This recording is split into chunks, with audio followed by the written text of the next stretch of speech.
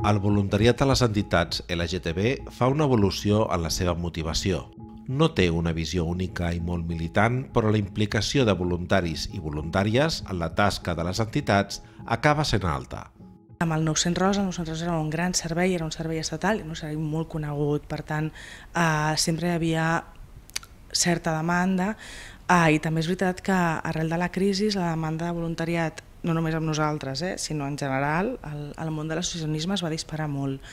Eh, I aleshores vam tenir bueno, uns anys eh, estupendos de, de sol·licituds de, de voluntariat. Una implicació especialment important en l'àmbit del VIH i que ha anat canviant el seu paper al llarg del temps de col·laboració. Habitualment, eh, perquè són temes de salut sexual, eh, és un tema que per desgràcia estem molt pocs formats, que no tenim, no tenim quasi educació en el tema i aleshores la gent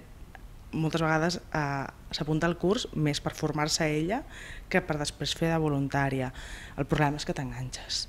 i aleshores un cop eh, t'has enganxat al tema i t'interessa i a més és divertit i tal, doncs vols més i la manera de més és anar fent voluntariat i clar, és, és un voluntariat que et permet un, un creixement molt bèstia.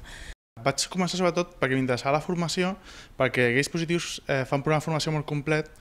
i jo estava en una relació eh, amb un noi que és seropositiu, llavors teníem molts, molts dubtes, molta manca d'informació i moltes vegades tenia la sensació aquesta que li deixava sempre a ell la responsabilitat de, de ser qui, qui havia de posar els mitjans i que havia de saber les respostes adients a cada situació i llavors eh, el saber més i ampliar el meu propi coneixement va ser la, prim, la principal eh, raó que vaig tenir per, per escollir aquells positius. I després eh, tenia ganes de fer voluntariat, d'implicar-me una mica més eh, i de tenir una actitud una mica més activista i em va semblar que, que era una bona, una bona eina. Les motivacions són diverses i centrades en la salut, hi ha voluntaris que fa molt de temps mantenen el compromís amb la causa i han augmentat la seva dedicació. Em van proposar de fer la formació del 900 Rosa, llavors vaig començar el voluntariat telefònic que es feia llavors a la casa. Quan la coordinadora i el 900 van tancar, vaig continuar a positius amb els projectes que, que es fan ara, que ja no és tan telefònic, sinó més pues, presencial, sortint amb les repartides de, de preservatius i amb el carro de l'infodrogues. La bona formació és capdalt per la implicació del voluntariat i la bona coordinació i atenció. Mantenir espais de formació continuada i aportar la informació necessària per poder fer una bona tasca voluntària en temes delicats i íntims com els lligats a la salut sexual. Es té una ferma voluntat de donar suport, de fer un bon treball i de ser útil. En un principi em van enredar, em van dir que la, la formació del 900 Rosa era molt interessant i independentment de si feia voluntariat, eh, si seguia amb el voluntariat telefònic o no, que m'aniria molt bé. Mm, vaig fer el curs i a mesura que anava fent el curs, tot i que ja venia d'altres voluntariats,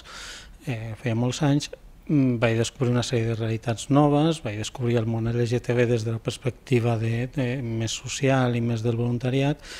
i em va ingressar a continuar és increïble la quantitat d'informació que un es pensa que té, després contrastar amb la informació que realment necessites. Perquè tant en temes de sexualitat com en temes de drogues, que són els dos principals temes que tractem, em faltava molt, molta informació. O sigui, informació tant en el tema de gestió de riscos com en el tema de les eh, diferents eh, pràctiques per tenir terme, eh, saber afinar bé realment quina és la informació bona i no és, és una cosa molt important i hi ha molta més informació de la que de, de la que un s'espera perquè sempre es pensa un que bueno, més o menys té controlat el tema però el coneixement que, que jo tenia prèviament era molt minso. Ara amb el nou tema de voluntariat que fem incorporem tota la part de drogues eh, que sempre genera com, com més por eh, a l'hora d'iniciar-se però jo no sé què té que en el moment en què comences eh, realment si, si t'agrada, de seguida de seguida s'enganxen i, i tenen ganes com, com de més, em demanen més formació, més informació, és una passada realment. És un tema molt desconegut i molt poc treballat, que hi ha molt poques entitats que treballin i realment és, per mi és un, és un món immens per explotar i que, i que dona per molt.